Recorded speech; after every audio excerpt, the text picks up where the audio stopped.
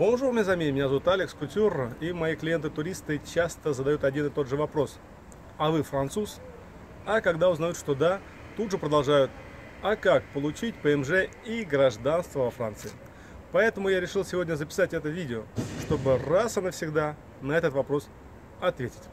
Итак, в левой руке у меня внутренний документ, который используется как удостоверение личности гражданина Франции, так называемая carte d'identité française, а в правой французский загранпаспорт, который требуется для путешествия в дальние страны. Наличие этих двух документов дает право посещать 80 стран, включая США, без визы. И еще 60 стран с французским загранпаспортом можно посетить, получив визу уже на границе. Французское гражданство – это такой неплохой бонус для тех, кто любит путешествовать. Самое же интересное, что получив французскую национальность, вы не утрачиваете гражданство своей страны. То бишь у вас вполне может быть двойное гражданство. Например, французское, российское, как у меня. А это, согласитесь, еще один плюс. Но как же получить это самое французское гражданство или хотя бы вид на жительство? На самом деле все проще, чем кажется. Например, тайная мечта каждого француза – найти себе супругу из Восточной Европы. Возможно, они не всегда готовы признать это публично, но в глубине души все французы этого хотят.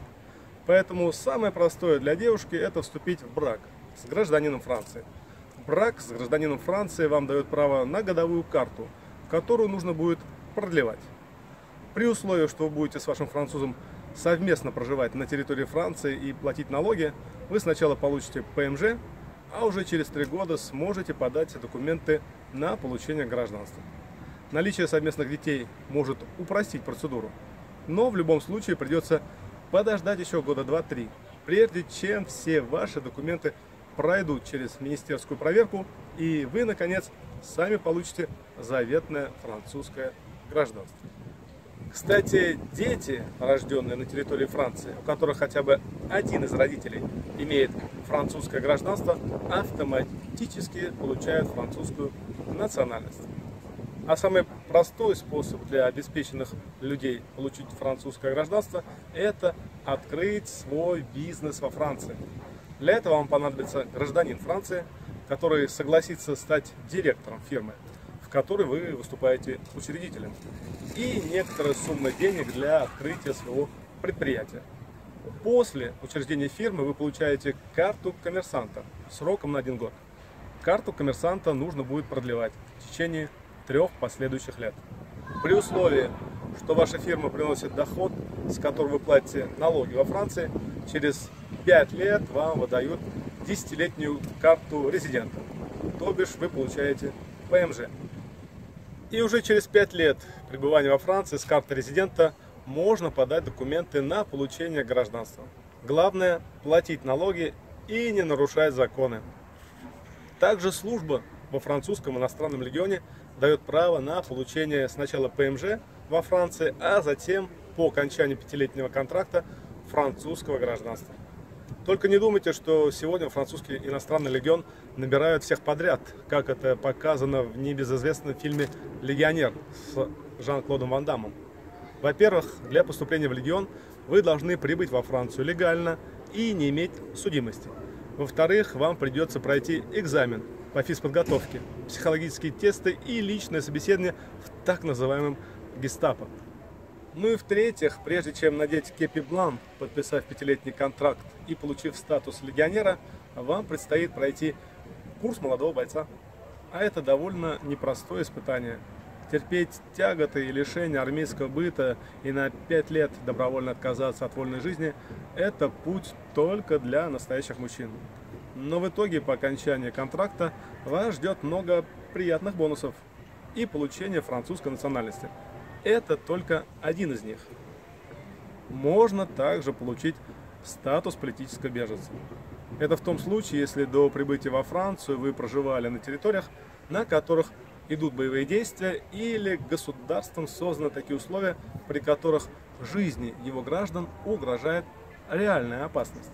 Ваш запрос о статусе беженца рассматривает специальная организация ОФПРА – После чего, при условии положительного ответа, вы получаете карту Азиль Политик сроком на 10 лет. и уже через 5 лет можете подавать документы на получение французской национальности. Сложность в том, что сегодня во Франции считается, что во всех бывших странах СНГ установлены демократические режимы. Поэтому для проживающих в СНГ заявку на получение статуса политического беженца просто не примут. И исключением составляют представители так называемых нетрадиционных ориентаций сексуальных меньшинств.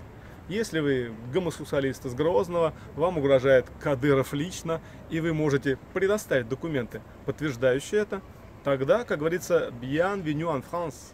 Но будьте готовы к тому, что приятным бонусом вас попросят выступить публично на радио или телевидении с очернением ужасного режима и рассказом о тяготах и лишениях вашей однополой жизни. Французские журналисты обожают показывать всему миру представителей нетрадиционной ориентации, которым посчастливилось вырваться из цепких лап Кремля. Также огромное количество не только девушек, но и юношей приезжают во Францию по программе au Pair. Они проживают в семьях, ухаживают за детьми, но при этом параллельно учатся в каком-нибудь французском высшем учебном заведении.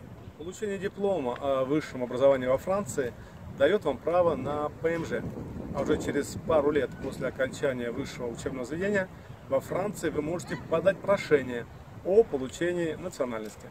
Главное условие для того, чтобы не получить отказ, найти работу и исправно платить налоги.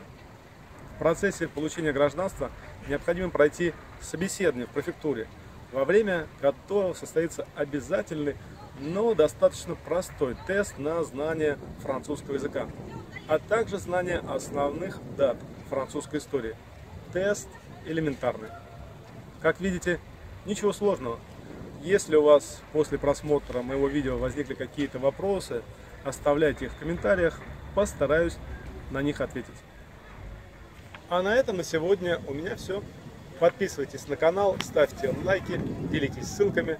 Арвар и абьянто. Всегда ваш Алекс Кутюр.